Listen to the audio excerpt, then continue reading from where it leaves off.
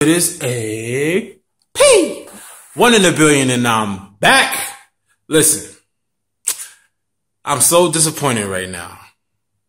I saw Deontay Wilder fight against Malik Scott. I just knew I was going to see a great fight. I knew I was going to see Deontay Wilder finally have some sort of a test. Any kind of test would have been nice. But, I mean, what happened there, huh?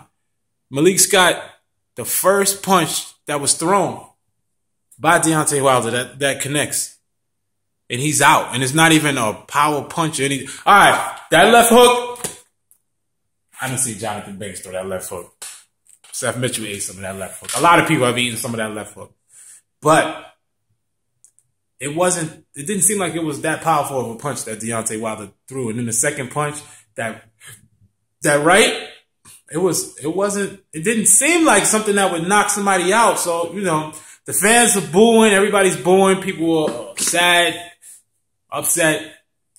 We wanted to see more. You know what I mean? We wanted to see a real match, like what you used to see in boxing. Where, I mean, you don't gotta be Holyfield. You don't gotta be uh Riddick Bowe, but where even is your Razor Ruddocks or something? You know what I'm saying? Like guys that just at least be warriors and put up a good fight when you're fighting against a star. So tell me what y'all think, all right? The fight is below, okay?